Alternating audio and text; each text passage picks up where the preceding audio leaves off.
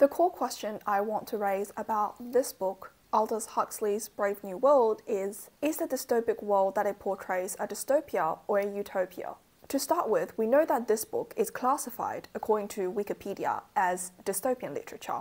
So that places it in the same category as other sorts of similar books such as 1984 or Fahrenheit 451. However, I found myself bearing a sort of different reaction to the government in this book compared to when I was reading the other two works. So most dystopian literature tends to portray the state as a sort of monster that grabs power for power's sake. Yet Huxley actually gives detailed explanation for the forms of social control exerted by his government in Brave New World. And these explanations are linked to their fundamental goal of promoting human happiness. Moreover, I do think that his regime seems a lot more benevolent compared to various others. Therefore, in this video, I wish to examine the various forms of social control exerted by the government in Brave New World and their connection to human nature. I wish to say that this video will be quite accessible and can definitely be enjoyed even by those who have not read the book. So please do not be discouraged from watching this video if you haven't read it.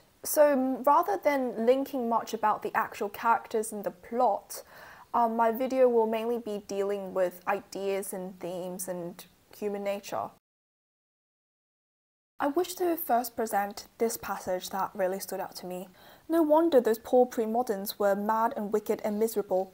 Their world didn't allow them to take things easily, didn't allow them to be sane, virtuous, happy. What with mothers and lovers, what with the prohibitions they were not conditioned to obey, what with the temptations and the lonely remorses, what with all the diseases and the endless isolating pain, what with the uncertainties and the poverty, they were forced to feel strongly. And feeling strongly, and strongly what was more in solitude, in hopelessly individual isolation. How could they be stable? As context, this was a third into the book, and this was the first moment that I felt like the state bears some sort of resemblance to a utopia, in my opinion. Many undesirable features of the human condition have been outlined here, and what really made me think was the prospect that the state allows its subjects to escape this condition. The fact is, these forms of misery are inevitably accompanied by the fact of being human. And anyone who's had any sort of encounter with life as a teenage or an adult will really recognize these. So the only way it seems to be able to lift one out of this circumstance is for them to cease to be human. And that is exactly what the state's social conditioning does. The core of their doctrine for social conditioning can be summarized here. That is the secret of happiness and virtue, liking what you've got to do. All of conditioning aims at that, making people like their unescapable social destiny. So now let's consider this passage. Don't you wish you were free, Lenina? I don't know what you mean. I am free, free to have the most wonderful time. Everybody's happy nowadays. But wouldn't you like to be free to be happy in some other way, Lenina? In your own way, for example, not in everybody else's way. I think this provides root into a philosophical consideration of freedom. There is a debate of whether we should accept that we are free on the first level if we are unhindered from pursuing what our desires actually are. Or does freedom bear a more stringent requirement that is, on the second level, we are free to choose what it is that we desire? Most philosophers would take freedom as only real if it's on the second level, the regime, however, clearly provides it on the first level. They condition desires so that people only want what the state actually gives them permission to pursue, and they want nothing else outside of that framework. Suppose we accept that the state denies the citizens' right to freedom, which is taken as a fundamental right of humans, and essentially part of what it means to be fully human. The new question now becomes is freedom necessarily conducive of happiness? I would say there's no necessary connection. It sometimes does and it sometimes doesn't.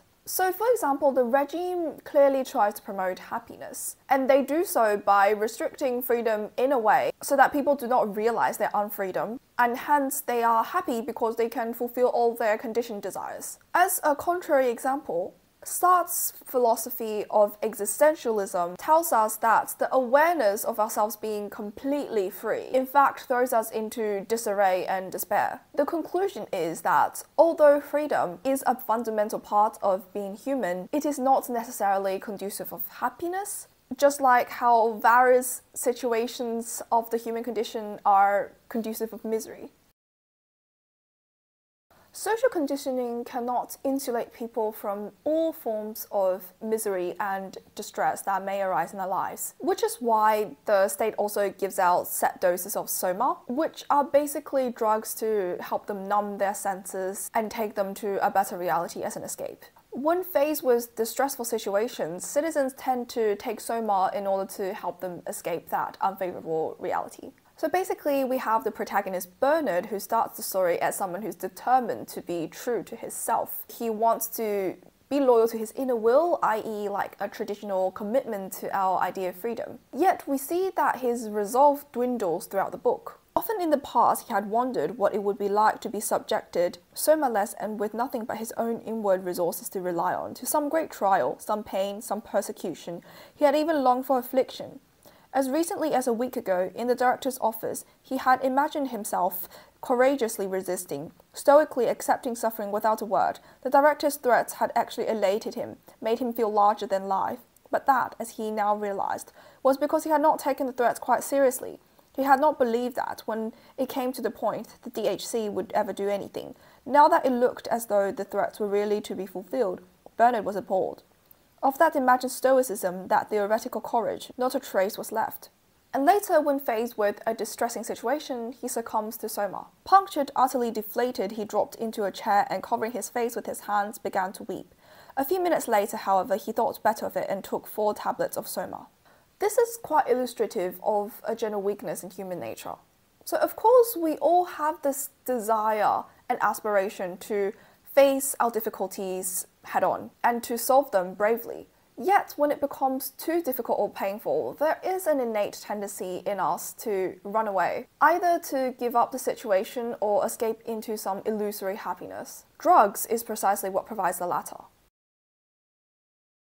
Another often brought up idea in the book is that of solitude and privacy. People under the regime are never given moments of solitude when they are allowed to do whatever they want. Huxley does not give an explicit reason for why people are denied this. He only gives some comments about it in general terms. That mania, to start with, for doing things in private, which meant in practice not doing anything at all. For what was there that one could do in private?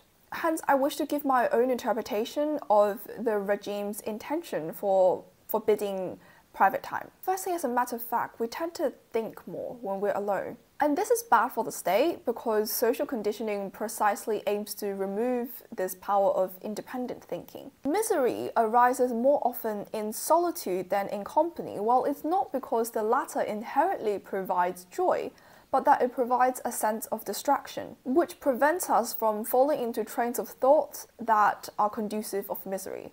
Moreover, enjoying times of solitude and privacy is conducive of one's recognition of their individual identity.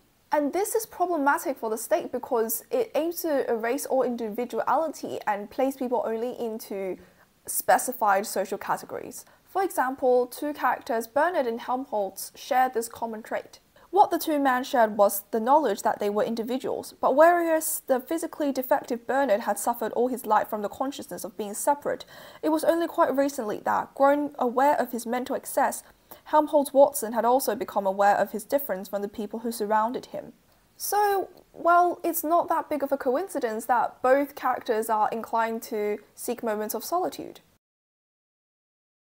Another interesting perspective brought up in the book is the idea that much of the excitement and interest in our lives occur in situations of instability or uncertainty. And this situation is also conducive of art, in particular good art, because art draws much from feelings arising from them. Yet, the state argues that only stability is conducive of true long lasting happiness, although it may seem boring. So, this idea is outlined in these several passages that I will read now.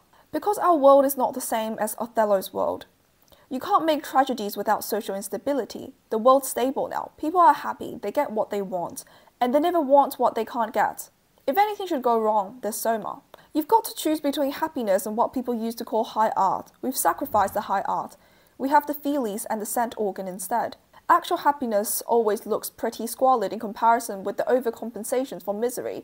And of course, stability isn't nearly so spectacular as instability, and being contented has none of the glamours of a good fight against misfortune, none of the picturesqueness of a struggle with temptation, or a fatal overthrow by passion or doubt. Happiness is never grand. Yet the book also recognizes that people have an innate tendency to wander away from stability because, as we know, it is boring. They seek stimuli, even though they know that it brings misery and frustration. As the savage proclaims in response to Mustapha Mond, you're claiming the right to be unhappy, not to mention the right to grow old and ugly and impotent, the right to have syphilis and cancer, the right to have too little to eat, the right to be lousy, the right to live in constant apprehension of what may happen tomorrow, the right to catch typhoid, the right to be tortured by unspeakable pains of every kind. There was a long silence. I claim them all, said the savage at last. Through Brave New World, I see a complex picture of humanity. We have innate traits as humans which drives us to seek various forms of miserable experiences. By denying us the ability to do so, the state is acting contrary to humanity. And this, via standard value systems, is to be condemned. Yet, I find it difficult to say that the state is a fully malevolent dystopic regime because it sincerely seeks to promote people's happiness, albeit at the expense of making people less human.